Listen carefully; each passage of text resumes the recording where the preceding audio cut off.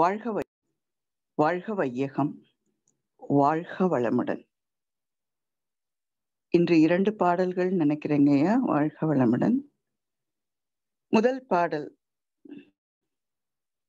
இருளும் ஈசனும் மாசற்ற ஒளியூடே மறைந்திருக்கும் இருள் போல் ஈசன் அறிவில் இருக்கும் நிலை. மாசற்ற ஒளியூடே மறைந்திருக்கும் இருள் போலே இதை திரும்ப திரும்ப இததான் பார்த்துட்டு இருக்கோம் நம்ம.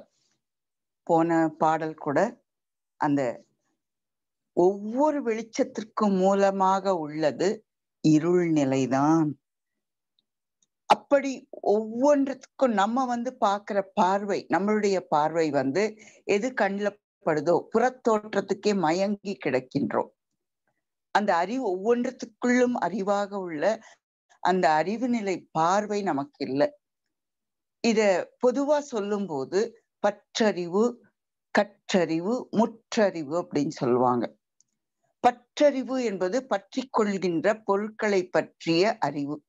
என்னுடைய வீடு என்னுடைய வண்டி என்னுடைய மனைவி என்னுடைய மக்கள் என்னுடைய சொத்து என்று ஏதோ ஒன்றத்தை இந்த மனம் புறத்தன்மையிலே பற்றி கொண்டு என்னோடது என்னோடது என்னோடது என்று அந்த நிலையிலே அலைக்கழிக்கின்ற வாழ்க்கை அலைகின்ற மனம். ஆனால் ஒவ்வொன்றத்துக்குள்ளேயும் அது அறிவுதான் பேரறிவுதான் இறைநிலைதான் ஈசன் அறிவில் இருக்கும் நிலை. இத நீங்க வேதங்கள்ல பாத்தீங்கன்னா உபனிஷத்துல ஒரு விளக்கம் உண்டு. ஒரு மரத்தை நம்ம பாக்குறோம் மரம் மட்டும்தான் கண்ணுக்கு தெரியுது.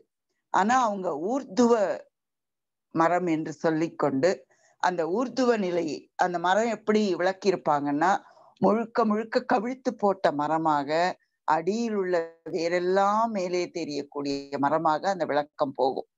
ஏன்னா நம்ம கண்ணுக்கு அதை பாக்குறது இல்லை ஏன்னா மண்ணுக்கு அடியில மறைஞ்சு இருக்கிறதுனால நம்ம கண்ணுக்கு தெரியல. நம்மளால ஒவ்வொரு மரத்தை பாக்குறோமோ என்னைக்கான வேற பார்த்திருக்கோமா நினைச்சிருக்கோமா நம்ம? இல்ல. அப்போ ஒவ்வொன்றத்துக்குள்ளேயும் அந்த அறிவு என்ற அந்த வேர் தான் மரமாக கண்ணுக்கு காட்சியாக ஒவ்வொன்றத்துக்கும் அடிப்படையாக அந்த அறிவு நிலை அந்த அது ஒவ்வொன்றத்திலையும் நீக்கமன நிறைந்து கொண்டிருக்கின்ற அந்த தன்மைய மகிழ்ச்சி நம்மளுக்கு உணர்த்துறாங்க. மகான்கள் எல்லாருமே ஓடும் செம்பொன்னும் ஒக்கவே நோக்குவார் அப்படின்வாங்க அவங்கள பொறுத்த வரைக்கும் ஒரு க செங்கல் கட்டி முன்னாடி இருந்தாலும் தங்க கட்டி முன்னாடி இருந்தாலும் ரெண்டுமே ஒரே நிலை. எப்படி இருக்க முடியும்? நம்மளுக்கோ அந்த கோல்டை பார்த்தா அப்பா இதனுடைய மதிப்பு எவ்வளோ இருக்கும்? இதனுடைய கிலோ எவ்வளோ இருக்கும்?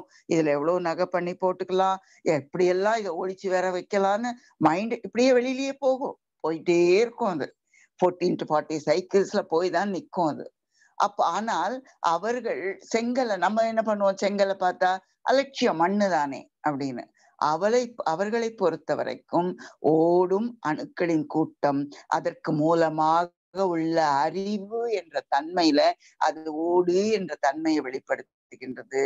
அந்த பொன் பொன் என்ற அந்த கட்டியும் அதே அணுக்களின் கூட்டம். அறிவின் வெளிப்பாட்டுல இது தங்கம் என்ற அந்த தன்மையை அந்த ஒளியை அந்த ஒரு அது அதன் பயன்பாட்டை வெளிப்படுத்துகின்றது. இப்படி ஒவ்வொன்றத்துக்குள்ளேயும் அறிவாக உள்ள அந்த தன்மையை அதை உணரும் போது உணரக்கூடிய தன்மை எப்ப வரும் சொன்னா தெய்வ அறிவே திருந்திய அறிவாம். உய்யும் நல்வழி உள்ளுணர்த்தவமே.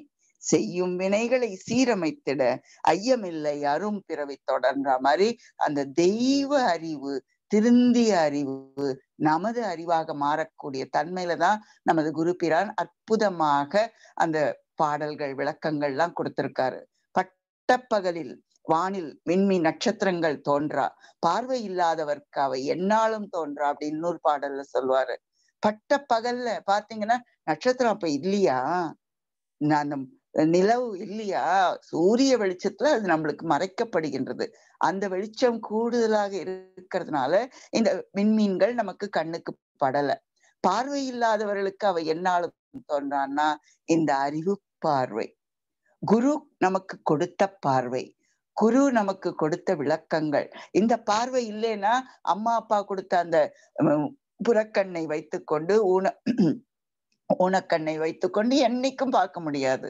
அந்த ஞானக்கண் என்ற அறிவுக்கண் நமக்கு வரும்போது அந்த தன்மையில இருளும் ஒவ்வொரு ஒளிக்குள்ளும் இருள்தான் மூலம் ஒவ்வொரு பொருளும் பார்க்கின்ற அத்தனை பொருட்களும் பரமுதலாய் அவ்வொருவர வந்த கதை தெரிந்து கொண்டு அந்த நிலையில ஈசன்தான் மூலம் ஈசன்தான் மூலம் ஈசன்தான் அறிவாக ஒவ்வொன்றிலும் உள்ளதை உணர்ந்து கொள்ளும் போது அந்த ஈச நிலையை இறைநிலை உணர்வாகவே அனைத்தையும் பார்க்கக்கூடிய நம்ம நம்மளுடைய பார்வை எல்லாமே ஆஹா இந்த பலர் எனக்கு பிடிக்கும் ஆஹா இந்த பழம் எனக்கு பிடிக்கும் ஆஹா இந்த காய் நமக்கு பிடிக்காத எருக்கம் பூவிலும் ஈசன்தான். அதை தான் விநாயகர் வழிபாட்டுல வச்சு நம்ம உபயோகமே படுத்தாத எல்லாத்தையும் வழிபாட்டுக்குரிய பொருளாக ஆக்கியிருந்தார்கள்.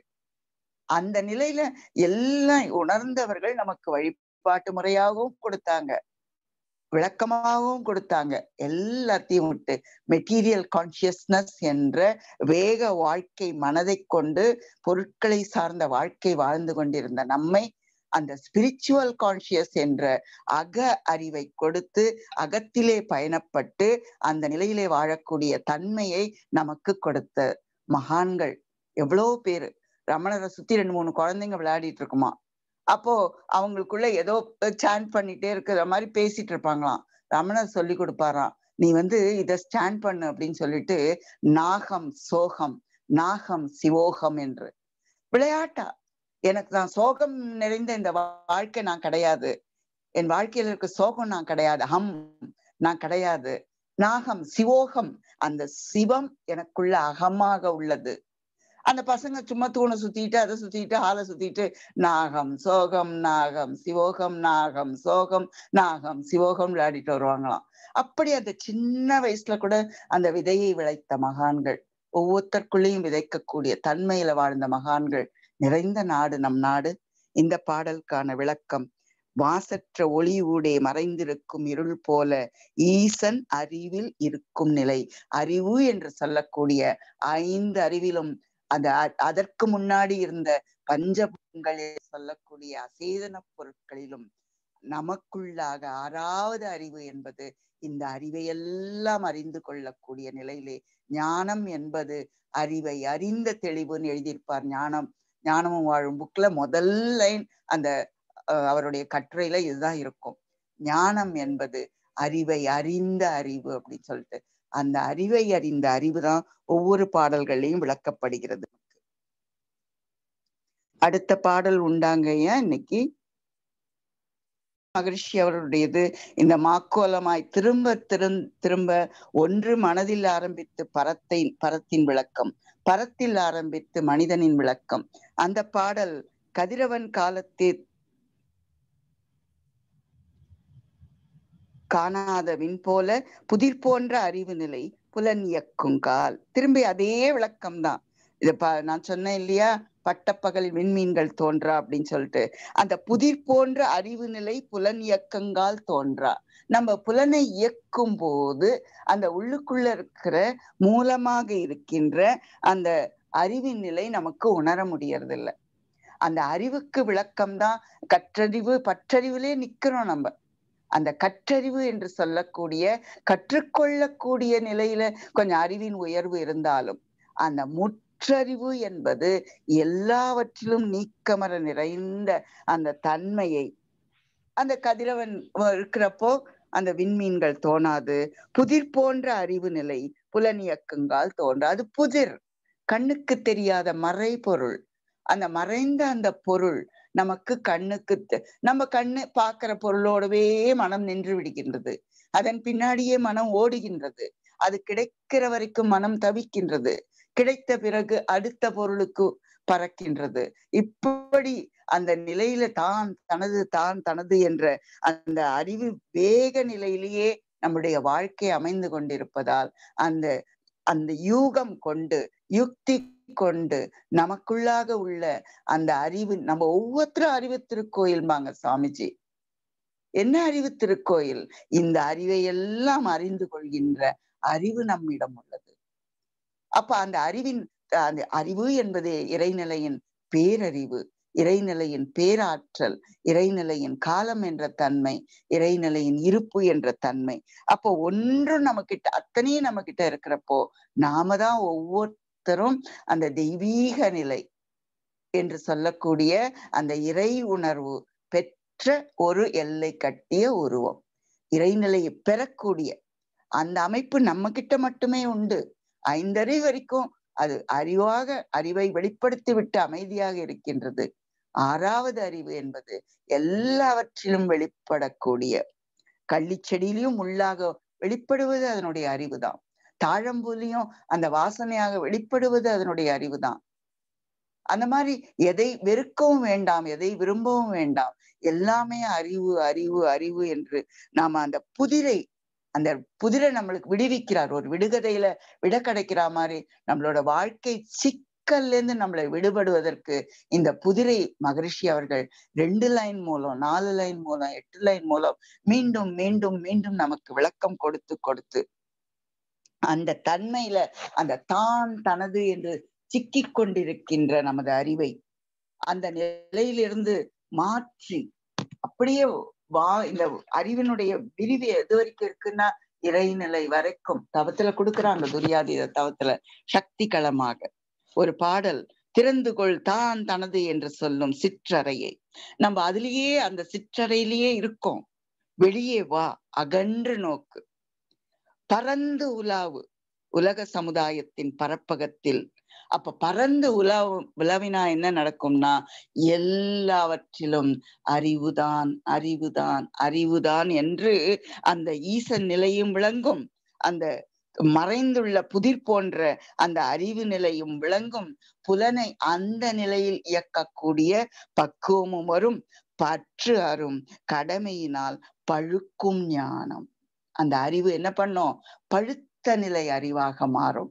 அது வரைக்கும் காயாக உள்ள அந்த அறிவு நிலை கசப்பாக உள்ள அறிவு நிலை கசப்பை வெளிப்படுத்தும் அறிவு நிலை வேகத்தை வெளிப்படுத்தும் அறிவு நிலை வேண்டும் வேண்டும் வேண்டும் என்ற தான் தனது அறிவு நிலை அந்த நிலை மாற வேண்டும் என்றால் திறந்து கொள் தான் தனது என்று சொல்லும் சிற்றறையை. நம்ம ஒரு சின்ன எல்லை கட்டி உட்கார்ந்துட்டு நம்மளையும் படுத்திக்கிட்டு இருக்கிறவங்களையும் படுத்திக்கிட்டு இருக்கோம்.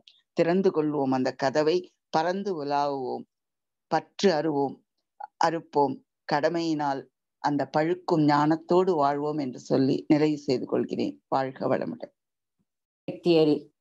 The definition for a cause and effect is each action that one does fetch a result that is cause.